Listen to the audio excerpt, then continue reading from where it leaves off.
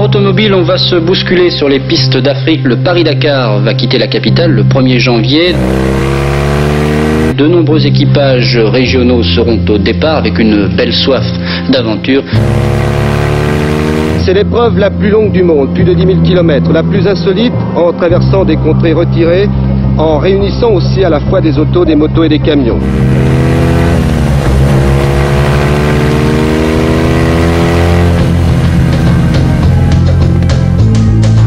Tout au loin, Hubert Auriol et sa BMW. La moto numéro 100 fonce vers la victoire.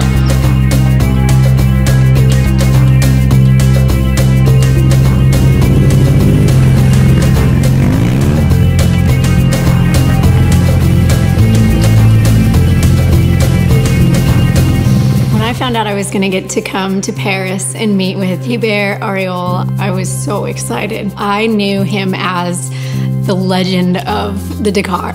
you know, this was a guy who started it right when the whole thing kicked off and won a couple times on a BMW, which I have that same BMW that he originally rode. So I guess I knew a bit more about him than probably the normal American girl.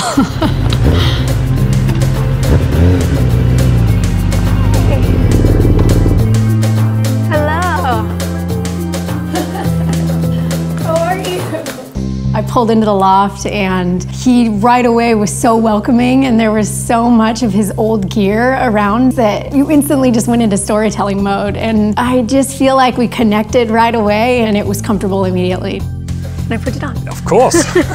wow. Oh, I might have to take So this one home. I got a real emotion when I saw the R nineT Urban GS for the first time because it reminded me so much things, you know. A, a white BMW with those motorsport colors. That meant a lot of things for me because that was exactly what I've been experiencing 30 years ago when I've been racing, you know. Coming back to the heritage, to the spirit of the beginning. That's really great.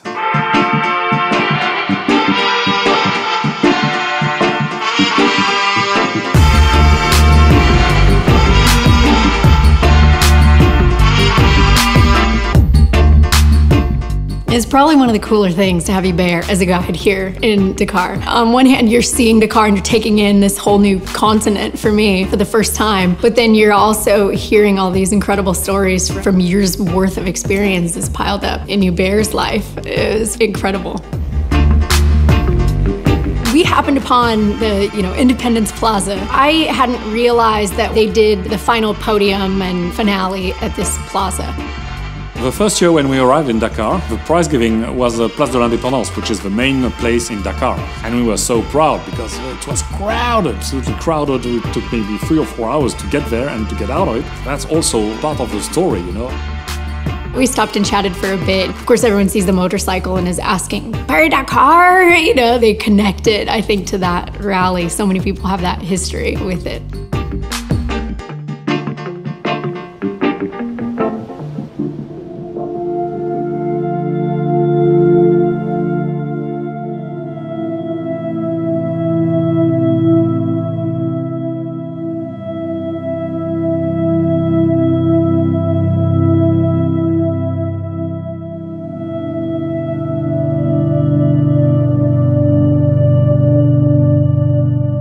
Pink Lake for me has been the most magical of the trip. There was just this immediate calmness around that area. When we first rode through, just seeing all the small huts and the people there and they're tending to their gardens and everything, it was just such a different scene than we're seeing in Dakar.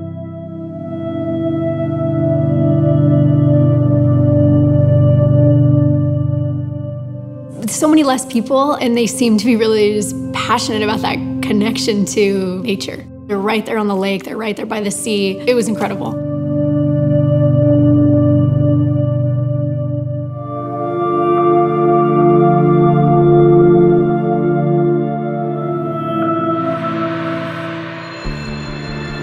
Being on the beach where they finished was so cool for me. I mean, I feel like I had goosebumps just that whole time because we're rallying over these dunes in this big truck, and Hubert's just beaming. He's so excited to tell me. You can hear like the adrenaline in his voice, even for him just to be on the sand going, right there. It was right. I got the BMW flag. I ran down the beach. You know, it's just unreal to hear the stories and to be there with him. In 1981, when I won the race the first time, somebody stopped me slightly before the finish, you know, and gave me a flag. I finished the race uh, waving my BMW flag. I was proud to win the race, and it was so crowded, you know. For me, it was the first time I experienced that, having everybody cheering you. Hello, congratulations! Oh, yeah, he's the winner. He's the winner. I mean, that's something you, you cannot forget, you know.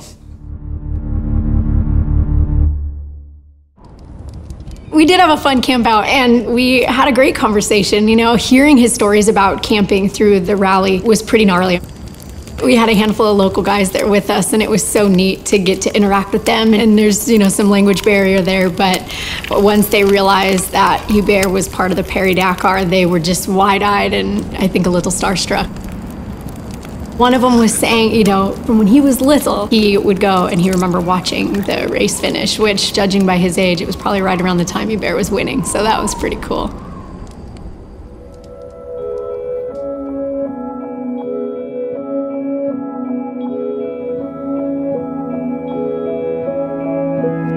It's a really nice moment to share all those adventures I've been spending in Dakar. Joy who's looking at that with new eyes, you know, so it's nice to tell her the story. And all those moments, all those places are so full of emotion. So even 30 years later, it's the same.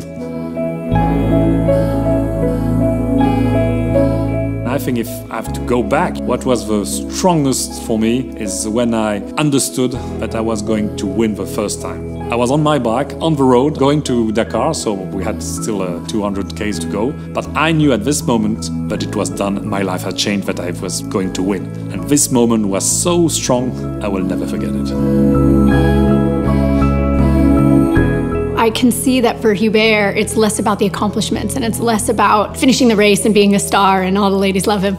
It's that moment, you know, you bookmark these moments throughout your life that move you. And it's probably what continues to drive us is you're constantly looking for those moments. I want to say that the legacy Hubert leaves behind is one of living an adventurous life, being spontaneous, finding what moves you and driving towards that. And I think it can be even outside of motorsports, whether you're on two wheels or four or not involved in it at all.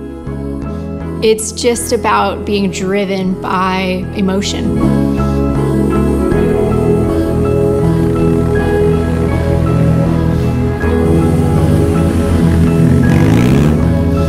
I think since the very beginning, what's the most exciting for me of riding a motorcycle is freedom. As soon as you get on a bike, you feel freedom.